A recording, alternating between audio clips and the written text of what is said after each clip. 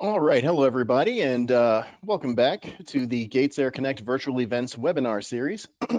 this is Keith Adams, Global Marketing Communications Manager for Gates Air, and I want to thank you for tuning in to this very special presentation. Um, we're proud to partner up with one of the most innovative providers of media streaming and content delivery services in the industry today. That would be StreamGuys.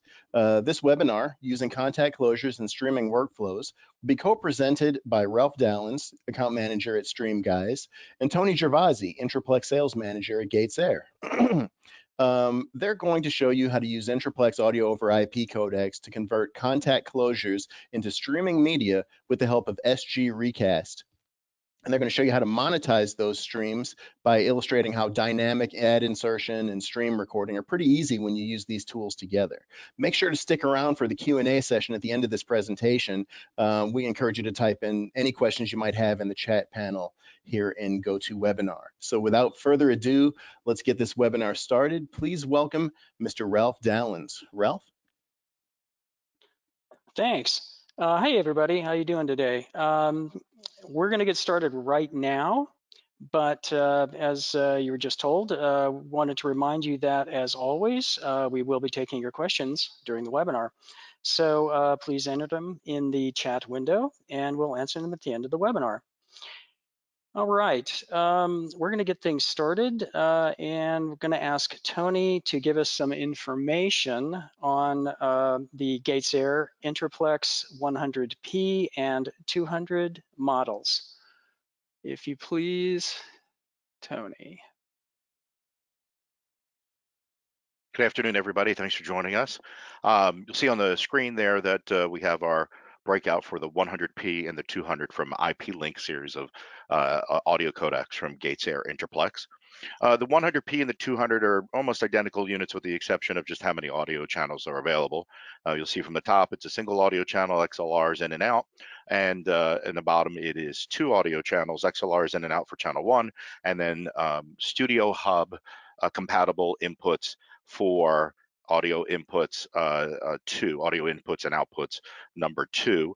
Uh, Studio Hub is, for those who are not familiar, is just a, a wiring scheme uh, broadcasters use uh, the RJ45 to XLRs or various different adapters, provide us both analog and AES3 audio in, in and out. Um, the, uh, audio, the audio outputs on both channel one and channel two of these units, respectively, both AES3 and analog are active at the same time. And for channel inputs number one and number two, you could select either AES3 or analog or dynamically switch uh, between the two based on uh, failure.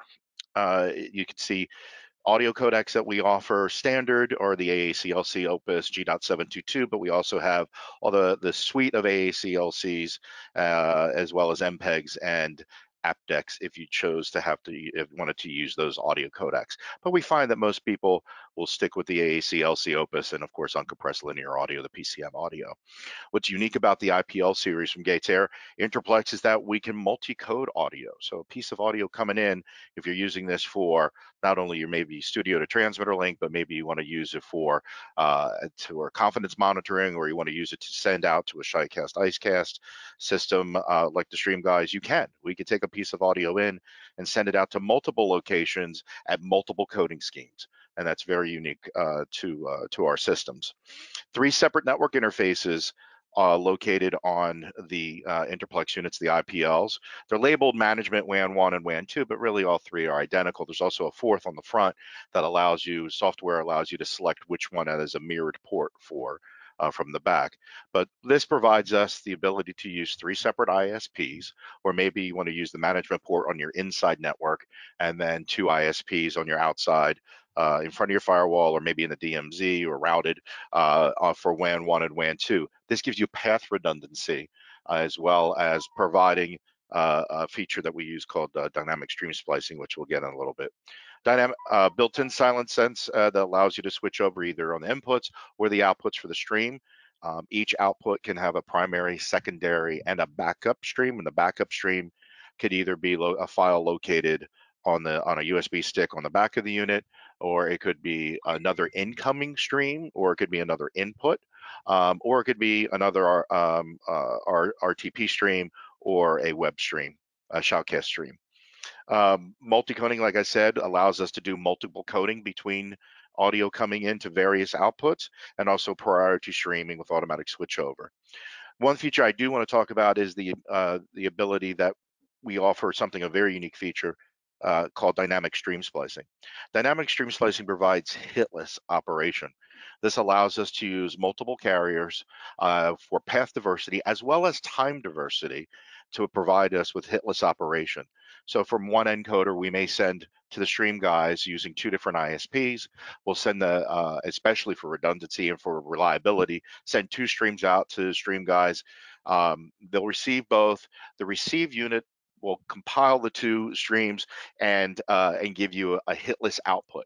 So if you start having on one of your paths, if you start having jitter, packet loss, out of order packets, uh, anything you can imagine, um, we will basically have hitless operation. What also you can add to dynamic stream splicing is if say you wanted to do not only path diversity, and you can add FEC to this, we have adjustable FEC from 25, uh, 50, 67, 100%, but we also have the ability to do time diversity. So we can layer all these different types of uh, hitless operations into and the and the broadcast of the IP into our systems. And the path diversity works great. Um, uh, as, as well as time diversity. So we can send a, a, stream out real time out WAN one, but also WAN one will delay a stream and maybe send it out 300 or 600 milliseconds later. This again will get aggregated as part of the receive streams on the receive side to provide hitless operation. Very unique to us, very unique to uh, to the IP Link and Gates Air as and uh, and an off feature that the stream guys offer. We find this is uh, uh, invaluable when it comes to people using this to point to multi-point or to using the, the CDN to distribute audio. This provides just make sure you always your audio always gets there. And what we're going to show today is a some unique feature that we have using our IceCast, talking to stream guys, is the ability to give you contact closures so you can start devices or start uh, uh, recording audio or audio on the far end, whether you wanted to start and stop audio and record it as a uh, as a podcast within the C, uh, Stream Guys network, or uh, go ahead and start maybe a pre-roll and then maybe a commercial or or what have you. So that's that's something unique to us in the IP Link series using IceCast talking to the stream guys. So that's some of our features for the IP Link series. Uh, again, available in the 100p and the 200 series um, with uh, front panel displays and LED meters and whatnot. Guys, Ralph? Okay, yeah, man, that was great. Thanks, Tony. Appreciate it. A lot that. of information. A lot of information yeah. in a little bit. Yeah. man, I'm, I'm, it's a Swiss, I'm, it's a Swiss yeah. Army knife. It's a We're Swiss all Army knife. Gosh, yeah. yeah. Okay. All right. Okay. Um, let's set the scene for this uh, new workflow. Contact closures live in the satellite and STL world of physical encoders. Streaming workflows use in-stream metadata for critical functions like dynamic ad insertion and dynamic cloud-based recording. Streaming's different in that you don't have a physical decoder at your CDN that can read contact closures and use them for ad insertion. That's why Gates Air and Stream Guys are offering a workflow that bridges these two worlds. Now, there are two components to this workflow. First is the new features from Gates Air. Using Gates Air's line of Intraplex audio codecs, you can now map GPIO pins to text metadata on HTTP streams. If that unit is receiving physical contact closures locally or is receiving an RTP stream with contact closures, you can now they can now be translated into text metadata for streaming in an HTTP stream. That means you can unlock some workflows like dynamic server-side ad, in, ad insertion or dynamic cloud-based stream recording that require in-stream metadata. In addition, you can leverage GatesAir's dynamic stream splicing on CDN ingest to stream guys. Dynamic stream splicing is GatesAir's protocol for mitigating IP packet loss, eliminating off-air time, and optimizing stream reliability. Cloud-based stream recording is done via SG Recast, StreamGuys' platform for automated stream recording, podcasting, rebroadcasting, and air checks. Dynamic ad insertion is digital ad insertion that's targeted to each listener. So let's say a listener in Milwaukee hears a different ad than another listener in Dallas.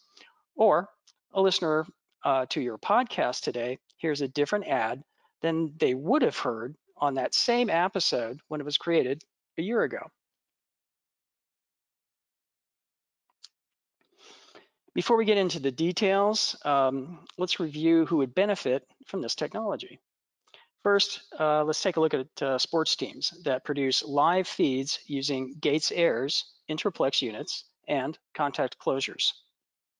They can now monetize those streams directly with dynamic ad insertion. They can also dynamically record the game and immediately publish it for on-demand listening, even if it doesn't start or stop at predictable times. The next example would be a talk show that's uh, syndicated across multiple radio stations or delivered via satellite. If you wanted to turn on your own internet stream and sell your own advertising, then you would need in-stream metadata. Now, you can do that without changing your in-studio workflow. Just keep sending contact closures to your Intraplex unit, and it will send stream guys the metadata you need for dynamic ad insertion. So anyone interested in monetizing their audio stream with ad insertion or recording audio with contact closures can use this. In the coming slides, uh, we're gonna uh, show you how to go about configuring this. But for now, here's a diagram that should help. This is the first of two workflows we'll present. This workflow involves sending an HTTP stream directly to StreamGuys without dynamic stream splicing. Your Intraplex unit is on premise and receiving audio and contact closures. Then it's translating those contact closures into text metadata and sending an HTTP stream to StreamGuys. In the StreamGuys cloud, we can do dynamic ad insertion and record your shows with SG Recast for podcasting or archiving. Those SG Recast recordings can include the same dynamic ad breaks used in your live show. So listeners will hear both your live show and the podcast with dynamic ad insertion. This is similar to the previous diagram, except you're using dynamic stream splicing for ingest instead of the normal HTTP stream. Dynamic stream splicing will improve ingest reliability and leverage Gates Air's Ascent platform hosted in the StreamGuys cloud. Okay, uh, now we're going to show you how to configure the contact closure to metadata translation. First, you'll need a Gates Air Intraplex unit and the contact closure feature key. Then you'll see this screen on the Contacts configuration menu. At the bottom, you can map each of the eight contact closures to different text metadata.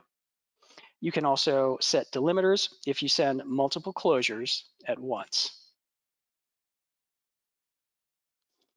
Next, on the HTTP stream settings, you'll check the boxes for uh, which contacts will be used to send metadata, as well as the metadata box itself at the bottom. Then you'll configure the rest of your HTTP stream settings uh, with the mount point, username, password, IP address, and port number you'll get from StreamGuys. Now it's time to verify your metadata is coming through to StreamGuys. We can help you with this, or you can log in to our SG Metadata service to see your historic metadata. Here's a screenshot showing AD60 coming through on our test stream. At this point, you'd also have StreamGuys set up your mid-roll breaks to use the metadata you're sending through. This is configurable, so we just need to know what you'll be sending. Finally, uh, let's set up cloud-based recording in SG Recast. This can be dynamic where the start and stop uh, to your shows aren't pre-scheduled. SG Recast can also preserve your live mid-roll breaks in the podcast, so you dynamically monetize both. The screenshot on the left is your Intraplex unit, and the one on the right is your SG Recast platform. To automatically record and publish a podcast version of your show, enter your start triggers from the Intraplex unit into SG Recast. In this example, we're using show start, which is circled in green on both screenshots. Then enter the stop trigger, which is show stop, circled in blue. Finally, we'll be setting up ad replacement on the podcast also. This is done by entering your ad break trigger as an intermediate rule. Since SG Recast is software as a service, you have access to our account managers, solutions engineers, and our 24-7 support team for this setup. Now, I'm going to hand things back over to Tony uh, so he can tell us about IPL to IPL distribution using the Ascent Media Server. Tony? Thank you very much. So one of the also features that we use your CDN or use Stream uh, Stream Guys for is for your CDN if you wanted to do point to multi-point, and we're talking uh, as few as two or three to hundreds of IPL's distribution. In this particular case, what you see is we have an IPL 200 located at your studio NOC, whether this is your studio location, remote location, uh, maybe a, a, a NOC that has multiple sources coming into it, and you have some type of virtual switcher feeding into it. So we take your audio in left and right, or AES3. Um, also, the IPL series will ingest AES67. So if you had, if you're using some type of Dante, uh, Ravenna, uh, Livewire, WheatNet, uh, we can use AES67 as an ingest on the IPL series, and, and those will provide AES3 and left and right audio as the output at that particular point. So we can ingest that information, and then we will send this coded audio through dynamic stream splicing or through single layer, if you'd like, to the um, CDN network, to the Ascent Media server that is hosted at StreamGuys. From there, that will be our distribution point to the rest of the receivers that we would have out using again dynamic stream splicing for the ultimate reliability um, and as well as providing not only your audio but we can also embed contact closures, metadata, GPIOs. Um, if you wanted to do some now playing information from your automation system using our IP Connect and bringing that data in, um, that's all available within the IPL series. So as we see the C-band getting a little congested and we're starting to lose some of, of bandwidth, uh, the FCC is giving that up to, or we're giving that up, I guess, as broadcasters uh, for some of that 5G stuff, and we start giving a limitation. This is a great way to um, to move from the the bird world down to the IP world, especially providing the reliability using dynamic stream splicing um, to your CDN as well as to uh, your your far end. So you'll be, be able to provide um, a long form programming or uh, as well as data and contact closures. Again, leveraging um, the the robust network of stream guys and the Ascent Media server located at their networks. So that's uh, this is something we're really excited about and uh, uh, ready to uh, work with you guys in moving forward and deploying this for multiple broadcasters. Ralph? Okay, thanks, Tony. Appreciate that. Um, all right, let's move on. Excellent. Okay, uh, at this point, uh, you've set up your Gates Air Intraplex unit to convert contact closures into in-stream metadata for dynamic ad insertion and cloud-based recording with SG Recast. The main use case here is triggering ad insertion and controlling cloud-based recording and publishing. However, uh, there are some additional metadata-enabled workflows like source switching that can be done with the StreamGuys cloud. Maybe you might want to start and stop a live broadcast with uh, metadata or switch between two live sources. No problem, we can do that. So in conclusion, there's a lot of interesting workflows uh, this enables. Okay, uh, please don't go just yet because we're about to start the absolute best part of this webinar where we answer your questions. So if you haven't already, be sure to write that question into the GoToWebinar app and we'll respond. And remember, we have Gates Air here with us today. So don't hesitate to ask any of your Intraplex questions as well. Thanks, everybody. Awesome. Excellent job, Ralph and Tony. Um, before we get into the Q&A portion of the program, um, here are some quick announcements. As Ralph mentioned, the, the chat panel is open for questions and uh, we'll answer them in a first come, first serve manner. And uh, we have uh, certainly Tony here and Ralph and a few other special guests to answer those questions. Um, this webinar is also obviously being recorded right now and we're going to have it available at gatesair.com, at streamguys.com, and on our YouTube channels sometime soon. So stay tuned for probably an email announcement or something to let you know when and where you can check out that on-demand version of this webinar. Um, in addition, we'll be adding it to uh, the Gates Air University, uh, gatesairuniversity.com, which is our online hub of lessons and webinars about broadcast engineering. Um, and if you didn't know, this webinar, like all webinars that we have on gatesair.com, uh, it qualifies for one half SBE recertification credit identified under category I of the SBE's recertification schedule. So for more information about that, please visit the certification section at sbe.org. Now on to some questions. And um, so far, um, it seems like people are just loving that information the way it was uh, presented. And um, I think they were probably amazed at the ease at which uh, you can configure the system and um, really I think maybe just knowing that uh, as Tony pointed out with you know using the uh, Ascent server you can have up to hundreds of, of you know input sources to play with so maybe people are having a hard time wrapping their heads around just the the power. Well, it's not only that is the ability then this is this can go past broadcasters. This is can be used for BGM services, background music services. Uh, you have to do point to multi-point for distribution of audio um, and and and and, serve, and and data if you would if you're embedding it into the IP connect. Um, so this is this can really go past just what we use. Now, imagine if you, know, you had some type of you know multiple you know movie theaters or or malls or whatever and you wanted to you need to get this audio to all these locations uh, we have the way to do that and reliably using the dynamic stream splicing and partnering up with stream guys as the cdn using the ascent media server. There you go.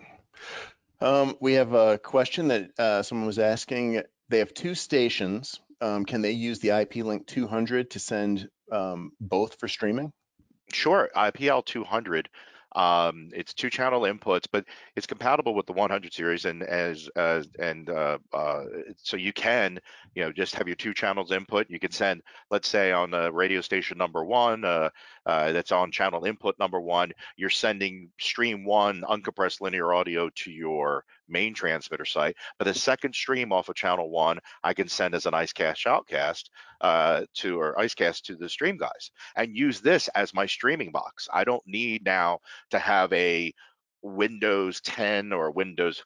I'm ga- gathering there's probably still a lot of Windows XP boxes sending audio to stream companies. Um, and Windows 7 don't need to have that anymore. This is an appliance. We don't have to worry about it you know loading feature updates and loading you know having getting forced uh, force fed updates from Windows or Microsoft.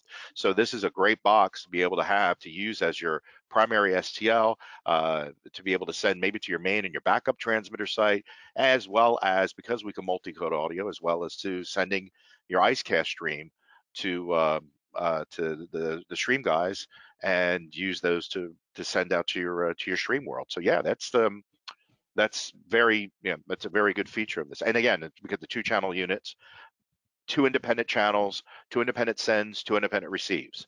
So this gives you the ability then so even at your transmitter site you can use this to not only pick up your primary feed from your radio station but maybe you want your secondary or your tertiary feed to be your stream that you have.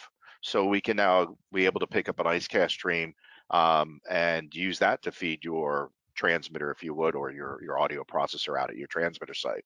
Um, so yeah, that's absolutely a great use of the IPL series. Awesome. multi-coding multi-coding is very key on this being able to send you know one of the great things that we like to do with this um, is be able to show people if you're using this over a 950 radio uh, especially the HD link, let's say, um, in IP mode only. This gives you the ability to send full uncompressed linear audio across your 950, across your cable modem, across uh, DSL, or even using LTE or a 4G. And even if you had to use compress at that point, Opus at 128 or Opus at 160 at 25% FEC, that could be your backup. That's your tertiary or your secondary if your primary path were to fail. And that also by using, because we have multiple WAN ports, this gives, if you wanted that, the ability to send a stream guys, not only could you use dynamic stream splicing on WAN 1 and WAN 2, but we could also send uh, on, on, on your management port, we could use an LTE or um, a, a 4G or modem uh, through like a Cradlepoint or something like that. And that still gives you another layer of reliability to be able to send to your STL or send to your transmitter or send to your CDN for audio. So these are great. These are, like I said, they're Swiss Army knives with having the multiple points and the multiple coding. And able to handle really heavy, heavy bandwidth, and that's that's pretty awesome. That's ridiculous. Um, question here is asking about uh, service availability for Latin America. Is this yeah, something that, that, yeah? Most definitely. So the, the service would be available for, for Latin American customers, as, as we mentioned in the presentation. The, the kind of minimum viable uh, requirements here is just the, the use of an Intraplex uh, IP100P or, or a 200, certainly available. Mm -hmm. Awesome. Um, is there a minimum IP link, like firmware version that's required to use the metadata and, and play with these kinds of services? So yes, there is a new version of firmware that is uh, that is available. Um, I, that uh, either it will be published shortly, or you can always email me. Uh, but the new version of firmware that is out uh, has the ability to do the translation, as you saw on the web on the webinar. Uh, that is available. Um, uh, I think we will publish it shortly up on our up on the Gates Air um, service page. Uh, otherwise, you can email me directly for a copy. Okay, it's hot off the presses. Um, when it comes to uh, the IP link 100p and 200, you discussed those, but how about IP link 100? Does the metadata does the metadata feature work with IP link 100? Yes, the 100 series, you can load the firmware on the 100, um, and the 100 series will work just fine. Cool, very cool. Um, what kind of hardware and software would would an end user need to decode closures? You mean uh, the uh, uh on our end, or uh, like if they're using an IP link? Uh, if they're using, I would assume uh, one of those codecs. Um, if there's if there's something, what what would you, I guess, maybe say is a um, an ideal setup, at least for that well, if you're if, if, you're looking to do IP link to IP link, there's a contact closures, there's eight GPIOs built into the IP links um, that you can either use to do end-to-end closures or to provide commands within the IPL, either to set alarm status or to issue another stream or something like that. If you're sending it to the eight closures to um, to or, or, a portion of the closures to the network and then uh, to your CDN to, to StreamGuys CDN, um, well, they're going to receive that information and then they're going to issue the commands within their network. And on the receive end, you're just listening to your stream using whatever you know uh, uh, streaming uh, software you use, whether VLC or something like that, I, I, or just a web page, or I guess you guys have a customizable player, correct? We do. We have a completely customizable uh, standards-based HTML5 player. So you could listen to the translated contact closures, as Tony was saying, uh, in a traditional web stream that's available there. Um, but if you'd like to go kind of full GPIO to GPIO, you'd have uh, Intraplex units at each side to be able to decode those. If not, like we mentioned, uh, you can consume the translation of those GPIOs as, as a traditional web stream. There you go. There you go. Another question is uh, wondering whether or not you can send multiple PCM streams from a single unit.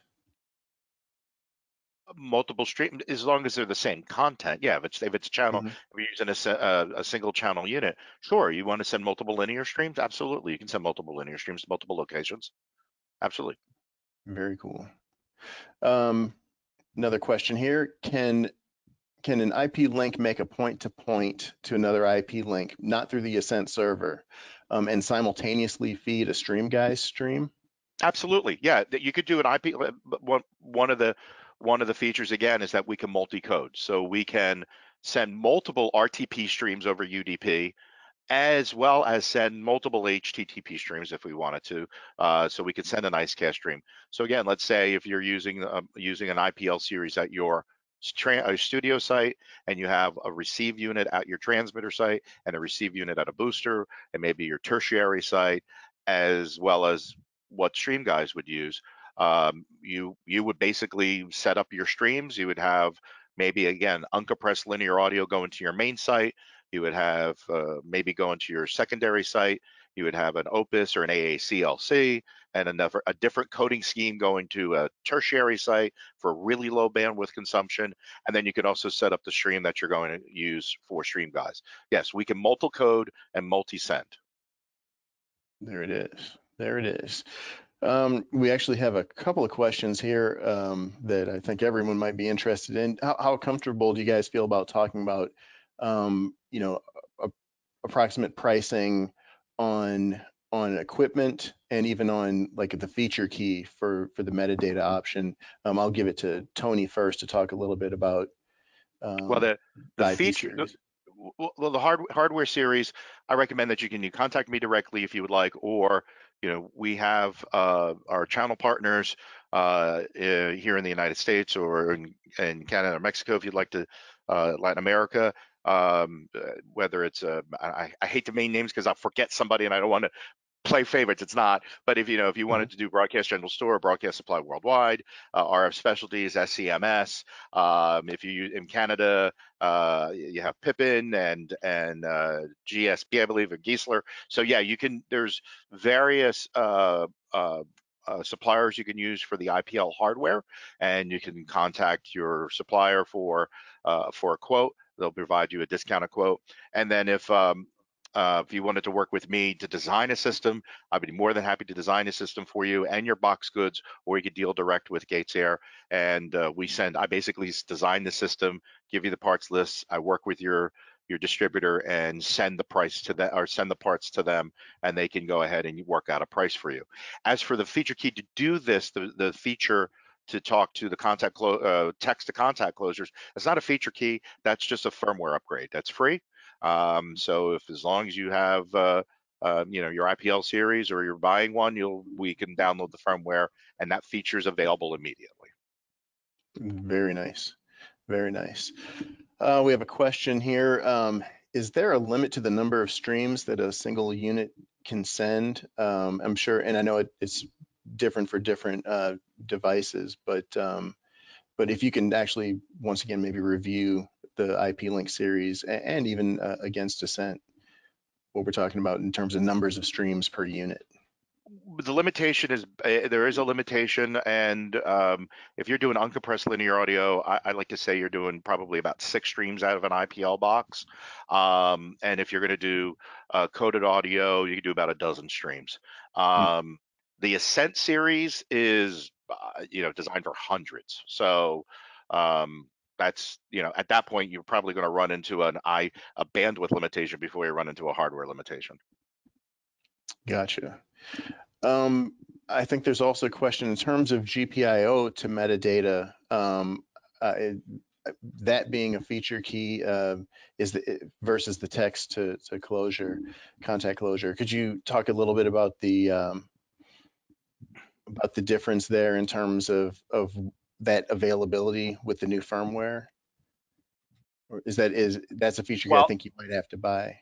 Um, I, I think yeah, I, I have to verify. I know we were uh, offering the firmware. I think it may be as a um, uh, it may be an upgrade as a feature key eventually. Um, I don't know the I don't know if um, if it's been the cost has been disclosed yet or how we're going to use that. Um, I know that's still being worked on because it's again a brand new feature that we just uh, just enabled. So um, I should have that information by the end of next week. I don't have a firm uh, a firm grasp on that yet, but once again, contact me and I'll be more than happy to work with you guys on that. A great opportunity to talk to Tony anyway. I, I would say he, he he's got some really neat ideas and, and extended use cases that would, would definitely be beneficial. So, um, yeah, I think um, we can hang out a little bit for some more questions here, but we're definitely uh, getting some great information out to people, and and um, this, it's just a, it's just a very cool tool, giving people the option to to play in in that world of switching out ads and on demand radio. It, that's it's 21st century stuff, you know. You guys are making it easy.